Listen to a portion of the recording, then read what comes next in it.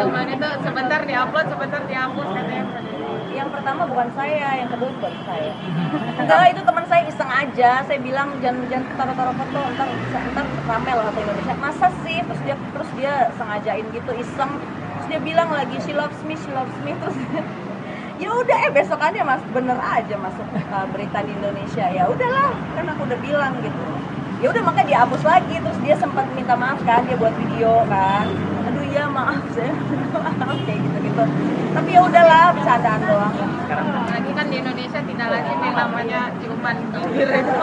Jadi orang mau uh, makanya mengartikannya ah nggak usah dibesar besar Tapi udah siap menyandang stop sejajar muda. siap lah ya gimana ya udah cerai ya saya udah jadi begini ya udah harus saya jalanin apa pun itu. Hidup kan nggak jalannya lurus jalannya berliku-liku tapi ya jalanin aja. Mbak Dewi dengan adanya uh, dengan perceraian. Ah banyak kok yang kayak begitu saya biasa-biasa aja nggak I don't think it's a big deal